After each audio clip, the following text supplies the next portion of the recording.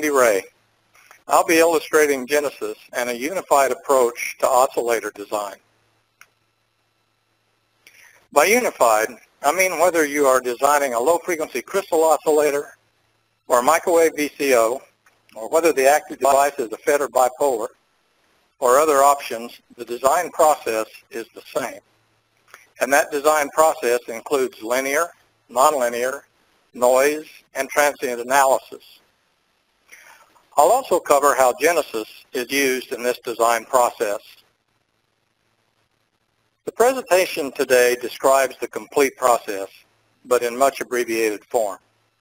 My latest book, Discrete Oscillator Design, covers these same subjects in more detail. Naturally, if you're interested in oscillator design, I encourage you to read the book.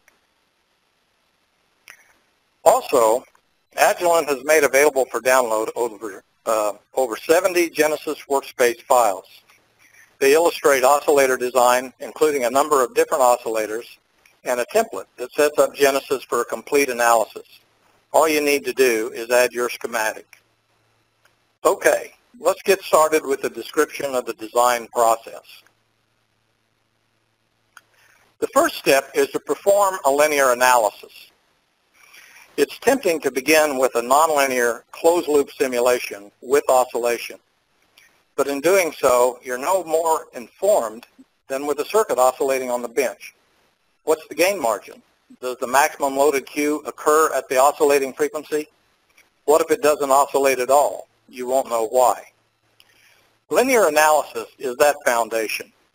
It identifies the design margin.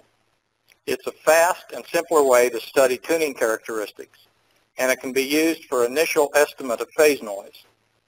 And it's quick for exploring new topologies and basic design ideas. More importantly, a linear analysis provides insight into the design process. Though it's a simplified view, it provides an intuitive understanding of how oscillators work. Unfortunately, it only provides a qualitative grasp of the operating levels and harmonics, but I'll address this later. Two methods are used for linear analysis. A popular method for microwave oscillators, particularly VCOs, is the one-port reflection method. Most, uh, me, most authors refer to this as a negative resistance analysis. Actually, they're both negative resistance and negative conductance oscillators, and the difference is not merely semantic. The negative resistance oscillator must use a series resonator, and the negative conductance oscillator must use a parallel resonator. The initial analysis of the negative resistance oscillator is performed by looking into the device through a series resonator. To form the oscillator, the test port is removed, and that port is grounded. The initial analysis of the negative conductance oscillator is performed by looking into the device across the top of a parallel resonator. To form the oscillator, the test port is removed, and that port is left open. With some circuits, the oscillator does not include a node where the loop can be opened. In this case, the negative resistance or negative conductance analysis method must be used. I'll describe a way around this limitation later. The open loop method has been preferred for years for lower frequency oscillators, including crystal oscillators. Actually, I prefer this method even for microwave oscillators. It provides more insight into numerous oscillator behaviors. It also allows estimation of the loaded Q. This is a very important measure of oscillator performance. And besides the confusion over the negative resistance or conductance issue, there are other misconceptions about the one-port method that are avoided using the open-loop cascade technique. Both linear analysis methods are covered in detail in my book. In the presentation today, I'll concentrate on the open-loop method. Consider this 40 megahertz Colpitts oscillator using an LC resonator and a FET. It's typical of common drain or common collector oscillators where the source or emitter is connected to the capacitive tap. For the open loop cascade method, I've opened the loop at this point, between the source and the capacitive tap. The open loop cascade input is a capacitive tap, and the cascade output is at the source. Capacitor C4, uh, excuse me, I don't see C4 on my schematic. Excuse me, capacitor C3 is used to couple output power from the oscillator into a 50 ohm load. Uh, here's C4. C4 is used to avoid the simulator term termination resistance from disturbing the oscillator bias. With a common drain amplifier, the output impedance at the source is generally low, and the input impedance at the gate is high. The capacitive tap transforms the low impedance of the source up to the high impedance of the gate. I've chosen an initial loop termination resistance of 50 ohms. I could have also opened the loop at the gate. The impedance at this node is higher, and a higher port resistance would need to be chosen. Resistor R2 is a bias resistor that stabilizes the quiescent drain current below the device IDSS. Common drain and common collector configurations are typically unstable at some frequency where the device has gain. Resistor R1 is often used to stabilize these amplifiers. Okay, what are the oscillator starting conditions? Oscillation occurs at the phase zero crossing if the initial linear gain margin is greater than 0 dB. Oscillation does not occur at the gain peak. It occurs at the phase zero crossing. The phase slope at the phase zero crossing should also be negative. The phase characteristics are more important than the amplitude characteristics. When a change occurs in the transmission phase due to temperature, load, noise, or other effects, the oscillation frequency will shift up or down. With shallow slope, the frequency shift is large. With steep slope, the frequency shift is smaller. So the phase, show, uh, phase slope should be as steep as possible. To take advantage of the phase slope, it's desirable if the phase zero crossing occurs at the maximum phase slope. Too low a gain margin increases the risk that gain changes might prevent oscillation and results, it also results in slow starting. Too high a gain margin causes heavy compression, leading to increased phase noise and potentially oscillator instabilities. 3 to 8 dB is a reasonable gain margin for most oscillators. The amplifier should be stable. It's the positive feedback from closing the loop that should cause oscillation. Amplifier instability can result in spurious modes. To utilize the available device gain, the maximum response gain should occur near the phase zero crossing.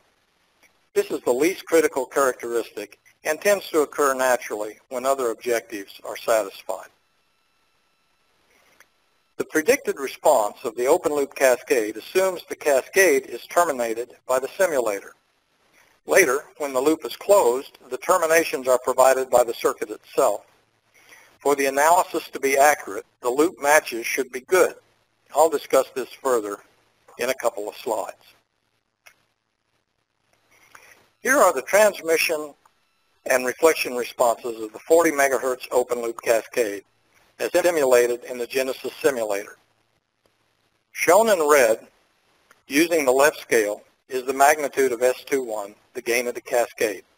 It peaks at about 3 dB, the low end of my gain target. Shown in blue, using the green scale on the right, is the transmission phase, the angle of S21. I previously adjusted the capacitor C1 in the oscillator to ensure that the phase zero crossing occurs at the target frequency of 40 megahertz. Shown in green, also on the right scale, is the loaded Q of the cascade. The loaded Q is computed by the simulator from the transmission phase slope. The higher the loaded Q, the steeper the phase slope. In this case, the loaded Q is about 10. Plotted on the Smith chart on the right are S11 and S22 of the open loop cascade. S22 is reasonable at about minus 12.7 dB. However, S11, the input match at 40 megahertz, is horrible, only about minus 0.3 dB. This match is so poor that the simulated transmission characteristics plotted on the left are significantly in error and are more or less useless. How do we manage this problem? Historically, this problem was managed by redesigning the cascade for better open-loop input and output match. Matching networks are not added. This increases circuit complexity and potentially adds additional resonances. Rather, the matches are improved by adjusting the capacitor values in the tap. Changing the simulator term termination resistance to some other value can also be used to improve the simulation match. But maintaining the termination at 50 ohms makes it easier to confirm the prototype using a standard network analyzer. A major contribution to the art was made by Terry Hock and Mitch Randall in 2001. Their expression for the true open-loop gain when self-terminated by the cascade is computed from the complex two-port S parameters of the open-loop cascade. Their equation is given here. Notice that when S12, the reverse transmission of the cascade, and S11 and S22 are small, the expression for G converges to S21. Also notice that when S12 is small, and either S11 or S22 is small, that G also converges to S21. In other words, for devices with a small S12, the simpler, uncorrected open-loop analysis is accurate if either S11 or S22 is small. In general, cascade port matches of 12 dB return loss or better results in analysis amplitude errors of 1 dB or less. This expression for G eliminates the error and uncertainty associated with mismatched loops. Post-processing in Genesys makes the computation and display of G the snap. Thank you, Terry and Mitch. Okay, let's return to the 40 megahertz oscillator example. Excuse me. Next, I'll use optimization in Genesys in an attempt to improve the characteristics of the open loop cascade. Here are the optimization goals specified in the Genesys simulator. Assuming I'll be able to improve the cascade matches, I'll work with the standard S parameters rather than G. The first goal requests that the gain at the desired 40 megahertz frequency be 6 dB. The next two goals request the input and output reflections of minus 12 dB or better. The fourth goal requests a loaded Q of 30. This is a factor of three times better than the initial 10. Finally, during optimization, it's important to keep the phase zero crossing at 40 megahertz. The weights allow the user to influence the optimization if the outcomes are not as desired. In this case, the default weights of 1 were used. Given here are the results of the optimization after about 20 seconds on my Intel Core 2 2.4 gigahertz CPU. After optimization, I placed part values on the nearest standard value. The green variable values were the ones that were optimized. When I placed them on the standard value, it slightly shifted the frequency. So I then tuned C1 to set the phase zero crossing back to 40 megahertz. The loop input and output matches are now better than 12 dB, and the Cascade S parameters rather than G are displayed. Notice the gain in red has been optimized to near the 6 dB target, and the loaded Q in green is now nearly 30. This is evidenced by the much steeper phase slope. To realize these goals, the optimizer significantly increased the capacitor tap ratio by increasing C2 and decreasing C1. R1 was also significantly increased. This was required to reduce the gain and improve the loop matches. So this completes our initial linear analysis of the 40 megahertz oscillator. Earlier I mentioned that for some oscillators, there's no place to open the loop. Unfortunately, I'm unconvinced the one-port method reveals the loaded Q. Recognizing this dilemma, in 1999, Stanislaw Alechno suggested a clever way to convert a one-port oscillator so that the loop can be opened. Consider the classic common collector negative resistance oscillator at the upper left. The power supply symbol is also an RF ground. At the upper right, all of the grounds are connected together with a wire and the ground is moved to the emitter. At the lower left, the circuit is simply redrawn with this new ground reference. At the lower right, the loop can now be opened at the left side of the resonator and the collector. The equivalent open loop schematic at the lower right for this classic negative resistance oscillator reveals a problem that's not obvious from the negative resistance analysis. The phase shift of a series resonator at resonance is zero, and the phase shift of an ideal common emitter amplifier is 180 degrees. So the cascade phase shift at resonance is not zero degrees, so it should not oscillate. In practice, this issue is resolved by using a device whose f sub tau is not much higher than the desired oscillation frequency. It must not act like an ideal inverting amplifier. Even then, extra capacitance to ground at the base in the open loop schematic is often required. Alechno's technique also allows us to see that the loaded Q of this circuit is poor because of the heavily coupled resonator. These issues are not obvious during a negative resistance analysis. The Alechno's technique is only approximate unless the device is an ideal control source. However, his method brings insight to oscillators designed using the one-port method. We examined the Colpitts oscillator where after optimization, oscillation criteria were well satisfied. In practice, cascading any resonator with any active device may not be successful. While the matches can often be adjusted by modifying part values, it's the critical phase characteristics which are less likely to be satisfied. For example, cascading a common emitter amplifier with a Colpitts type resonator is unlikely to be successful. Historically, successful topologies were named for the discoverer, and they became standard designs. Copying these designs was, and unfortunately still is, common. But even this may not achieve good performance because the response characteristics may not be optimal.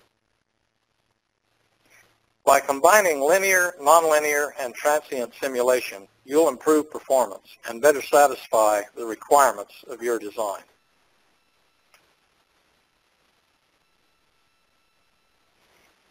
I refer to the techniques I describe as a unified approach to oscillator design because they're general.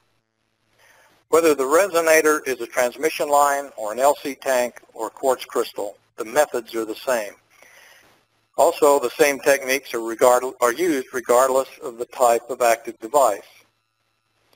In Genesys, one schematic may be used for linear, nonlinear, noise, and transient simulations. This is not only convenient, it eliminates potential errors associated with maintaining multiple schematics. Many texts describe oscillator design based on analytical equations. The difficulty here is to make the equations of manageable complexity. Device models are often reduced to ideal control sources and parasitics are ignored. Using a simulation environment like Genesys allows the user to explore designs with ideal or real devices and parasitics using precisely the same technique. And the linear response can be confirmed by measurement using a network analyzer. Okay, enough for the linear uh, starting foundation. Let's proceed beyond to nonlinear simulation.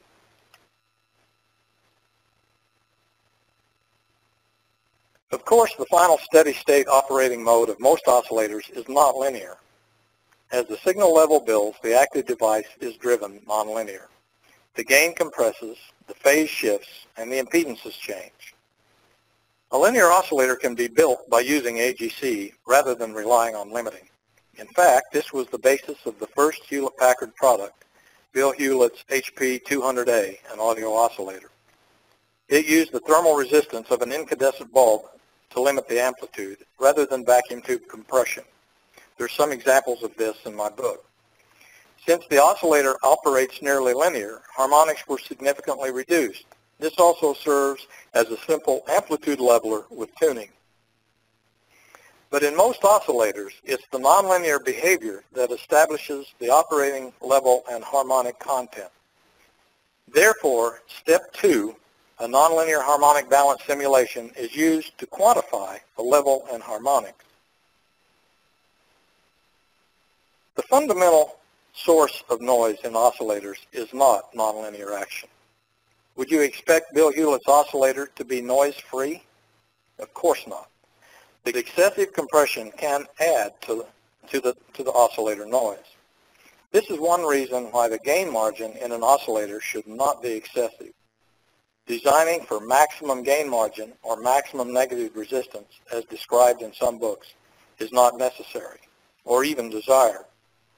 But nonlinear action can contribute to noise, and the harmonic balance routines in Genesys are a more accurate tool for assessing oscillator noise than Leeson's linear method. Also, nonlinear action can shift the device transmission phase, and therefore the operating frequency. In a well-designed oscillator, frequency change is small, but a nonlinear analysis provides a more accurate frequency simulation. Nonlinear simulation requires nonlinear device models. These are more difficult to obtain than linear models. To help, Genesys is bundled with many models from a variety of manufacturers. Also, Genesys imports SPICE models, a common type of nonlinear model. Genesys now supports X parameters. This allows you to base nonlinear models on measured data rather than a physical model that was fit to data. Consider this 330 megahertz bipolar Colpitts oscillator here at the upper left. The open loop cascade input is port 1 on the left, and the output is port 2 on the right.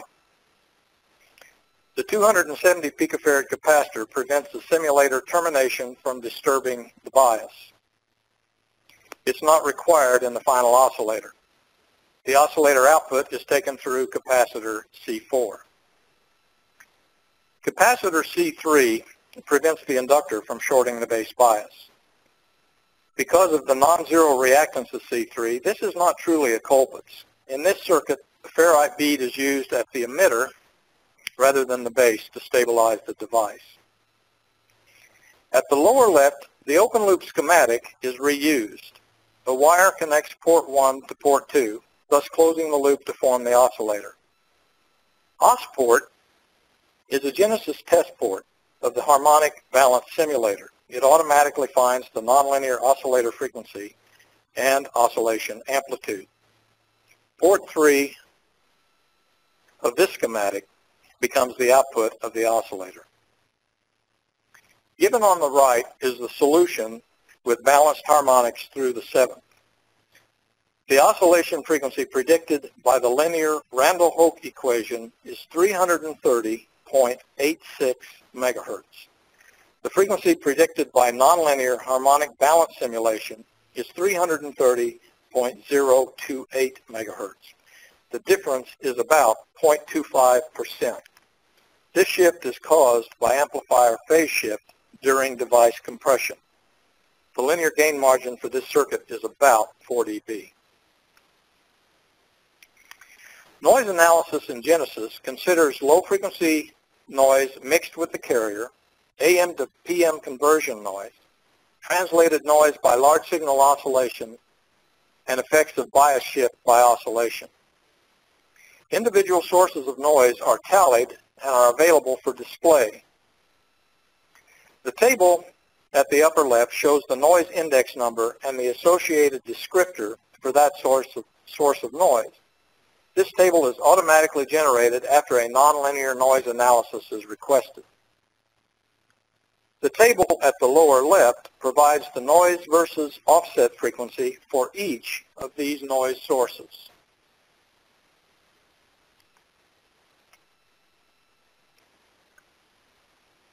Plotted here are the four most significant single sideband noise sources from the nonlinear noise analysis. By providing individual noise contributors, circuit and device parameters that are the primary contributors are easily identified.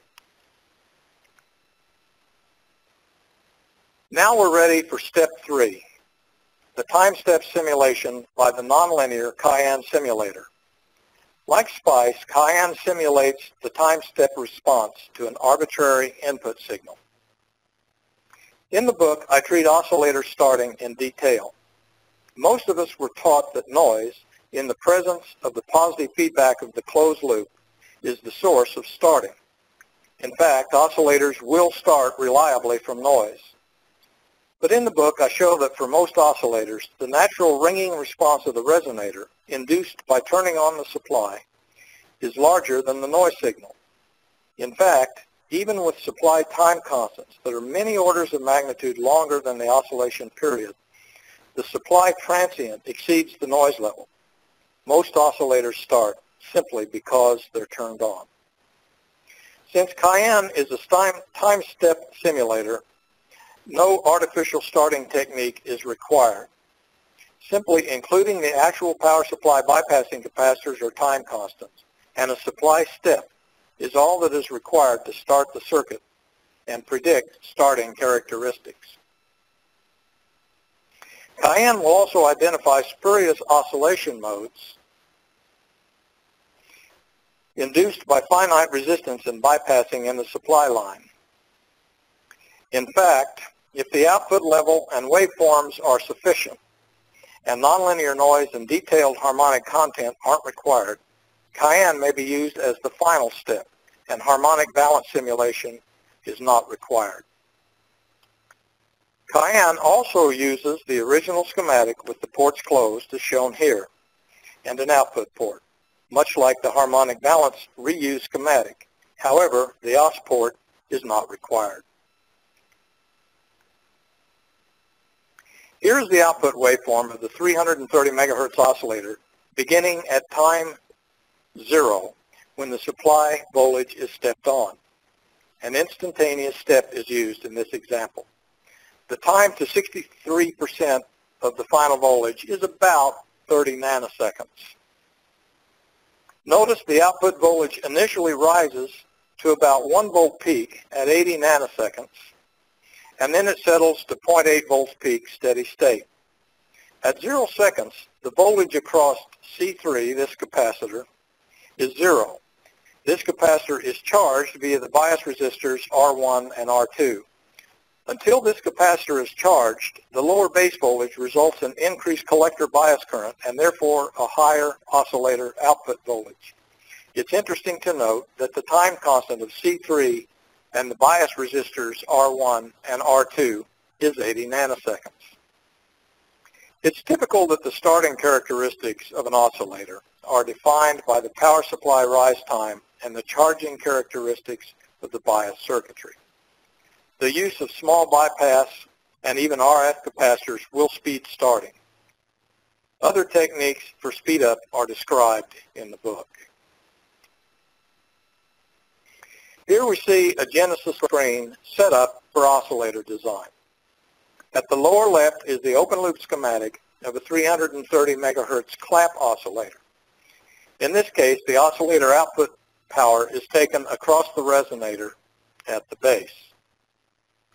At the upper left are the linear open loop transmission and reflection responses. The matches are only fair in this example, and so the Randall-Hock correction is used, and G is plotted. The phase zero crossing occurs well off the maximum phase slope. Because of this, the achieved loaded Q is less than 5. When at the maximum phase slope, it's 20. This circuit needs to be optimized. Anyway, the circuit oscillates. The harmonic balance and Cayenne simulations are given in the middle row. This example points out how important complete analysis is. If one constructed a prototype, it would oscillate, actually with good output power and good harmonic performance. But the noise and stability performance would be a mere fraction of that possible if the circuit were optimized. I think I've demonstrated that Genesys is a powerful tool for oscillator design. It's an integrated environment for linear, nonlinear, transient, and noise analysis. It supports a process for creating new designs or improving underperforming ones. And interestingly, I recall from the early days of computer-aided engineering, some felt that CAE was dangerous because engineers would use it as a crutch and not really understand how circuits behave. Quite the contrary, I believe software is a powerful learning tool. When used properly to ask questions as well as answer them, it brings insight to the user. I didn't have time today to cover a number of Genesys features that could be used in oscillator design.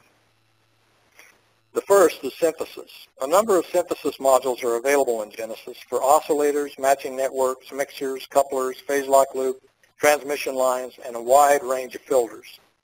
With the oscillator synthesis program, you select a general topology and then enter the key performance characteristic. The synthesis program then computes component values, creates a schematic, and sets up simulations and output graphs. You may then evaluate and modify the design as you wish. Genesys also includes a number of integrated modules for complete design from concept to prototype, including layout, electromagnetic simulation, instrument control of data acquisition, and system simulation. I'd like to finish with a few slides about my latest book. Why did I write this book? My first book only covered nonlinear and transient theory qualitatively. These topics are covered in much more detail in this book. Perhaps most importantly, I've now taught oscillator theory to over a thousand engineers at trade shows, Georgia Tech, and companies worldwide. During these full-day sessions, I was asked a lot of very good questions. And some questions kept reoccurring, which meant I needed to rethink how I presented the subject. It was fun and a great learning experience for me. Also, oscillator theory has advanced significantly in the last decade. Modeling has improved, the Randall-Hock and Alechno techniques need to be evangelized, and starting is better understood. There was a lot to write about. Besides, I needed something to do. The book covers subjects I presented today in much more detail, with over 350 illustrations. Very few of the 200 equations are derivations. Most of the equations are there to illustrate important principles or to be used in oscillator design. The book includes 60 example oscillators with measured data for a number of oscillators. All of the schematics and all of the graphs, including graphs of equations, were created using Genesys, which has great features for documentation, whether for your notebook, a technical paper, a proposal, or a book-length project. I used 140 Genesys workspaces to create the example schematics and graphs in the book. Agilent has established a website for downloading 73 of the more important workspaces. And these workspaces may be used with either a full or a trial Genesys license. The workspace template may be used to start an oscillator design. You replace the existing schematic with your proposed open loop schematic. The template includes linear, harmonic balance, time step, and noise simulations, and all output graphs. You then make any required changes to the simulation, such as the frequency range, number of harmonics you want to simulate, and so forth. Some of the workspaces are utilities, for example, for designing amplifiers or resonators. The remaining workspaces are general purpose RC, LC, distributed, VCO, ceramic, crystal, and SAW oscillators. The website for downloading these files is given on the last slide. In summary, Genesys is an integrated tool suited, suited for a unified approach to oscillator design. The book covers more detailed information and example workspaces are available to make getting started easy. I hope you'll stick around for questions and answers. Uh, you may contact me to request an Excel spreadsheet with most of the equations in the book. You may also report errata or obtain any future errata sheets that I may publish. If you have questions about Genesys, you can visit the Agilent website or contact your Genesys specialist. The workspaces and a free trial Genesys license are also available at the Agilent website. Thanks for attending. Okay, Kirk, back to you. All right, Randy, thank you. In a moment, we're going to begin the question and answer session, but first I want to remind everyone to complete the survey that will come up at the end of the webcast. And as I mentioned at the beginning, by submitting the survey, you'll be providing us with valuable information on how we can offer more and better webcasts in the future. So please take a moment to do that at the end of the webcast. Now let's get to your questions and see if we can provide a few answers. As a reminder, if you have a question, simply type it in the chat window and select All Panelists using the drop-down menu. And as I said, you may have to scroll up to get to that All Panelists selection. We do have a large audience today, so if we don't get to your question, we will answer it via email after the webcast. So please ask your questions, and we'll get to them. So here's the first question, and, and uh, Randy, this was asked during slide 7. And uh, it says, it starts out with just a statement, low S11 and S22. Is 50 ohms needed, and what what impedance level? Is it relative? In other words, should both be the same or con should both be at the same or conjugate impedance. impedance. That make sense? Okay. Yeah. Yes. That's that's a great question, uh, and it's it's a question. This whole issue of match is one that that comes up frequently, and uh, that's why Mitch Randall and Terry Hock's contribution was so important because it basically eliminates any concern. You can choose any termination impedance and when you compute G from the S parameters, it doesn't make any difference what you chose. Uh, that having been said, there are some advantages to uh, choosing an impedance that um, is the impedance of your network analyzer, whether it's 50 ohms, 75 ohms, or 600 ohms. It's very convenient if you choose both resistances to be the same. Um, you can choose any resistance level uh, that makes the matches in the open loop cascade the best. So I could choose 60 ohms, I could choose 107 ohms, I can choose whatever resistance I want. Um, but it's amazing how often you can make it work with 50 ohms. The advantage of 50 ohms is it then becomes very easy to confirm the whole design by measuring the open loop cascade, not an oscillator, but measuring the open loop cascade on a network analyzer. Um, so again, uh, normally you would choose the same resistance for the input and the output. It's nice if you can choose 50 ohms. You don't have to. You can choose uh, whatever impedance makes both matches uh, average the best. Uh, but in the end, if you're having trouble getting the system matched, just use uh, uh, the Mitch Randall correction, and you don't even have to worry about either what the resistance is or where you open the loop. Okay, great. Next question uh, was around slide 17 or so, and is how is the loaded Q simulated? Um, the loaded, it's important to understand uh, the difference amongst the various Qs. Um, a component such as an inductor or a quartz crystal or a transmission line resonator has an intrinsic unloaded Q that is a measure of the quality of that component, and that's where the term Q came from. It represents quality. Uh, in a typical oscillator, you can increase inductor or resonator Q all you want, and it will have minimal impact on the unloaded Q. It's only, excuse me, on the loaded Q. It's only when the loaded Q starts becoming appreciable with respect to the unloaded Q that the unloaded Q really makes any difference.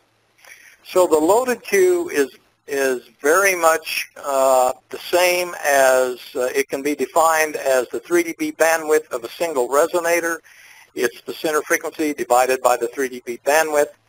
uh, although in oscillators uh, we're more interested in phase and how narrow that amplitude response is will affect the phase uh, steepness. And the loaded Q as computed by the Genesys simulator is basically computed from the phase slope, not the amplitude characteristics of the loop. Um, and it does a discrete uh, differentiation, taking the phase at uh, one frequency and another frequency, and uh, from that slope and frequency difference, uh, computing the loaded Q. It's that loaded Q that is so critical to oscillator performance. Okay, we got questions flying in left and right here. This one was uh, asked around slide 17 as well, and he asks, "Can I? Can you elaborate on the sharp phase slope required?" He says, "Isn't the idea to keep the phase as close to zero degrees as possible across frequency, considering temperature changes and component tolerances?" Okay, this this uh, question is addressing. Um, two different forms of stability, long-term and short-term. Keeping the uh, zero crossing at zero degrees at the desired frequency is what controls the frequency uh, of oscillation or what we would refer to as the long-term stability. So the frequency of oscillation, not the noise, is determined by the frequency of that phase zero crossing the short-term stability or the, the oscillating frequency from quick sample to quick sample is controlled by the steepness of that phase slope. Um, imagine any disturbance, whether it's temperature or noise, shifting the transmission phase, typically of the active device, up or down. If that phase slope is very shallow, that shift up and down in absolute phase is going to cause a large change in the zero crossing frequency. If, on the other hand, you can imagine the phase slope were perfectly steep, perfectly straight up and down, shifting the absolute phase transmission through the device would not change the frequency at all. So it's the steepness that controls the uh, stability with phase changes and it's uh, the long-term or the oscillation frequency is controlled by whatever uh, frequency that phase zero crossing may occur. Okay, great. Uh, next question uh, is uh, just the uh, term Cayenne. I wanted to know, is that a time domain simulator within Genesys?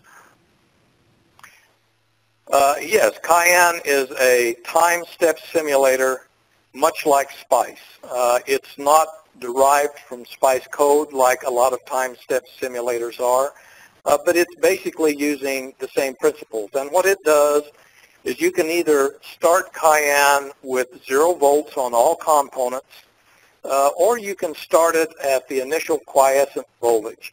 For oscillator design, you would start Cayenne with all voltages at zero, just as if you had an oscillator on the bench that had been turned off for some period of time all of the voltages are going to settle to zero. And because it is a true time step simulator, if the power that you apply to that circuit in Cayenne is a step, it's basically identical exactly to what happens when you turn an oscillator circuit on. So you don't have to worry about starting. You don't have to uh, induce any starting mechanisms. Um, and you can do this either in Cayenne or SPICE. The mere process of applying power to the circuit will induce a transient ring in the resonator, uh, which then becomes the starting signal for the oscillator. So this process will not only uh, allow the circuit to start, but it actually will predict the actual starting characteristics uh, of your final oscillator. It's important uh, that most power supplies have time, some time constant uh, to rise. Also, bypassing on the power supply will cause a finite time constant. And if you simulate those in your uh, schematic, uh, then it will simulate actual starting in the oscillator. All right, next question, Randy, is uh, what input do you use to simulate the time to steady state behavior? Um, one doesn't really have to input anything other than the uh, initial step that occurred um, when you turn the power supply on. So again, if the power supply is not, say, a static uh, 3 volts, but a 3 volt step or a 5 volt step or whatever, uh, and in Cayenne you choose the option for voltages, all voltages to start at zero, then Cayenne will naturally simulate the uh, starting process and you don't need to inject any signal like you would need to do in harmonic balance. Okay. Uh, the same uh, same questioner asks uh, also, does the presenter have recommendations for designing for good phase noise besides having a good resonator Q? Uh, there are a number of things that uh, that are important. In in order, a few of them are uh, the phase noise performance is proportional to the Q squared. So it is by far the most important parameter. It tends also to be one uh, over which we have reasonable control. The second most important parameter is power. One wants to uh, have as high a power oscillator as possible. I know this sounds counterintuitive. Power seems like the opposite of noiseless uh, or quiet, but in actual, the single, single sideband phase noise spec is in relation to the carrier. It's noise in relation to the carrier level the noise processes tend to be constant. So if you can get the carrier level up, you will improve the, uh, the phase noise performance of the oscillator. Uh, power is also uh, a parameter that we have a lot of control over, um, except those folks who uh, are in limited power applications, handheld applications where uh, battery resources are very important then uh, that's a major limitation. But otherwise, for base stations in particular, uh, or for uh, supply line uh, oscillators, more power is is the second most important thing to do. And then there are a bunch of fine details. Noise figure, you would think noise figure would be important, and it is important to a degree, but keep in mind that the noise figure of inexpensive devices is only a dB or two worse than the noise figure of some of the best devices available today. So noise figure is important, but it's not one that we uh, have a lot of control over. And my book discusses a whole plethora of uh, things that are important in low noise oscillator design, which is a major state-of-the-art issue associated with oscillators. Okay. We've got one here I'll direct to uh, Hao-Hsiang Yap. Uh, again, he's the product manager of Genesys and product planner for Genesys here at Agilent EEsof. And uh, uh, one attendee writes, uh, how much does Genesys cost? All right. Um, to find out more about Genesys, you can just Google Agilent Genesys, and it will bring you to the Genesys homepage. Uh, basically, there are nine bundles of Genesys, and the price ranges from less than $5,000 all the way to $29,000, where we include everything that Genesys has to offer. Okay, great. Thanks, Hao-Hsiang. Uh, Randy, back back to you for one. Uh, up to what frequencies will Genesys simulate to? Uh, Genesys will simulate up to whatever frequency um, that can be simulated electrically.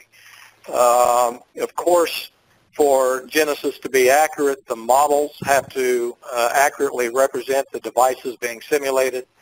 But in essence, there's no practical frequency limit uh, on the simulation theory and technology. It becomes an issue of modeling, uh, and uh, that's a very complex issue, of course. Hmm. Um, the once you get above, and it, again, it depends on the type of oscillator you're working with, but once you get above a few hundred megahertz, electromagnetic simulation can help significantly with modeling issues of pads and transmission lines and the rest of the circuitry.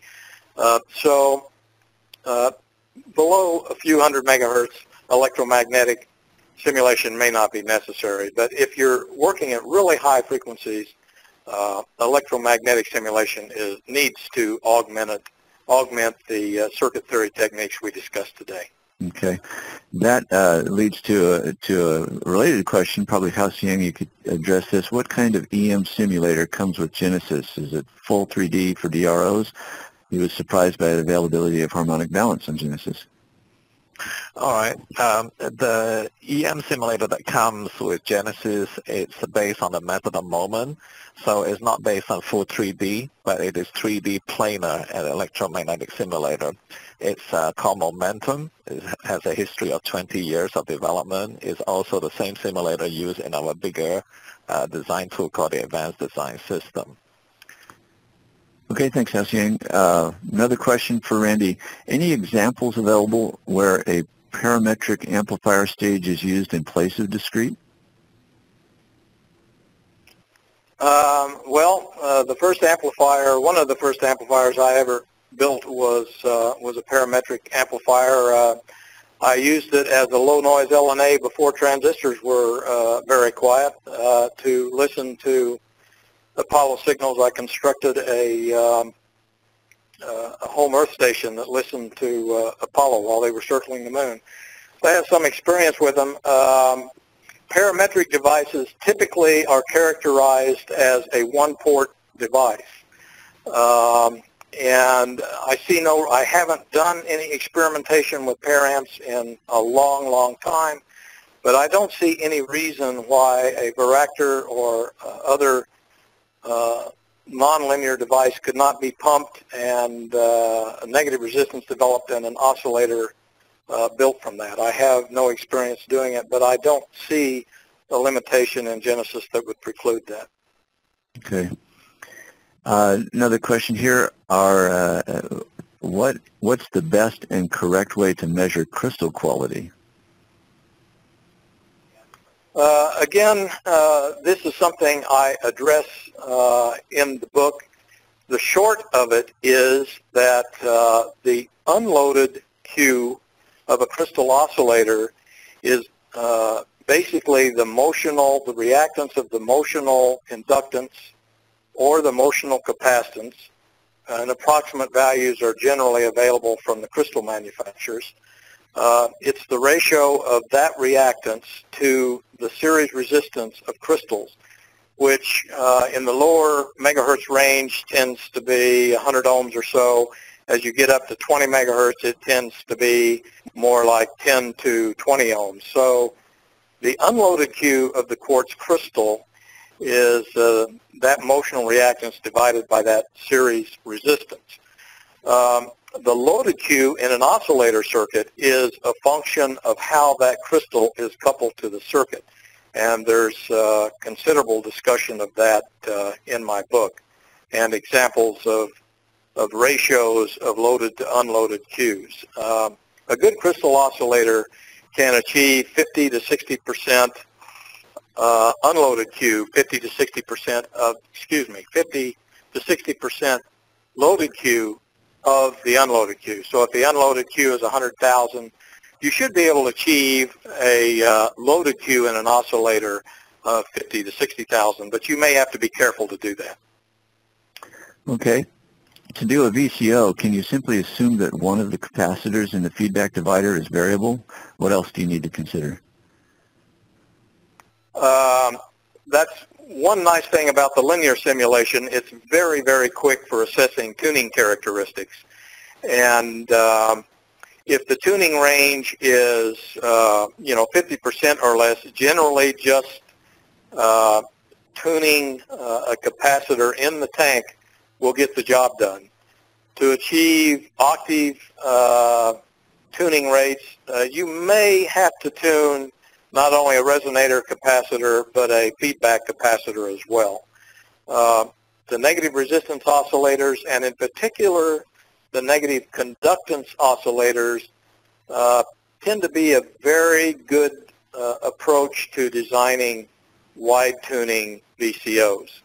Um, there's also a particular circuit uh, in the book uh, that, uh, and I'm trying to remember the name the Vackar. Uh, there's an oscillator called a Vackar that uses only one tuning reactor, and it has an extremely good tuning characteristics. Uh, they tend to work best at lower frequencies. Um, so in short, uh, you can tune the uh, the oscillator simply by tuning any reactor in the in the resonator. Uh, for wide tuning, you may have to tune multiple uh, reactors. Okay. I think we have time for one more question here. Are, are active device libraries provided with Genesys, transistors, reactors, etc.? Uh, yes, uh, and it has uh, since since the beginning. And uh, in the old days, we provided S parameter files for literally thousands of popular devices. Uh, S parameter files are still commonly used today for linear simulation only. To do nonlinear simulation, you need to use nonlinear models. And uh, Genesys comes with nonlinear models from a variety of uh, manufacturers, um, Siemens and, and Philips and uh, and some U.S. Uh, manufacturers, uh, some of the Motorola discrete devices that are now manufactured by other companies um, have uh, models in Genesys and also, as I mentioned in the presentation, Genesys will import a SPICE file. So as long as you can get the manufacturer to provide you a SPICE file, you can use it in Genesys. Okay, I think that's about all we have time for for questions. Let's uh, just get some closing comments from you, Andy, and then uh, I'll close it off. All right. Well, thanks for all those great questions. Uh, from having taught uh, taught a full day oscillator course before, uh, some of them are kind of familiar. It's amazing how some of the same uh, issues concern designers uh, over the years, and some great questions. This year marks the 25th anniversary of the founding of EagleWare. And as founder, I speak for the employee owners of the former EagleWare Elanix in commending Agilent EEsof for continuing to offer and develop Genesys. While I'm retired, many of the employee owners who were so dedicated in making Genesys the great tool that it is still work at Agilent EEsof today. I hope you find Genesys a great tool and a joy to use. Okay, Kirk. Uh, all right. You can wrap it up. Thank you, Randy. It was a great presentation and, and appreciate all the answers.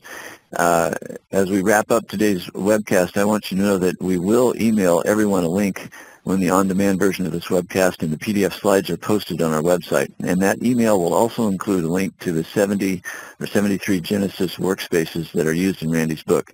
If you want this information now, just Google four words, Agilent Genesys Oscillator Book, and that will get you the information.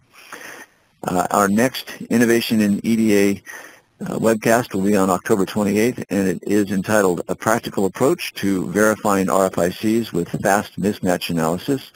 If you're viewing the on-demand version of this webcast and have a question about any of the material, please email Hao-Siang Yap at agilent.com. That's H-O-W hyphen S-I-A-N-G underscore Y-A-P at agilent.com. I'd also like to remind on-demand viewers to please fill out and submit the webcast survey. I'd like to thank everyone for attending today's event, Discrete Oscillator Design Tools and Techniques, brought to you by Agilent EEsof. There were uh, uh, there's actually pages of questions here, and we will be uh, answering those questions via email in the, in the coming days. The copyright of the presentation materials is owned by Agilent Technologies. For a current schedule of live and on-demand events, please visit us at www.agilent.com forward slash find forward slash events. Thank you for joining us and have a great day.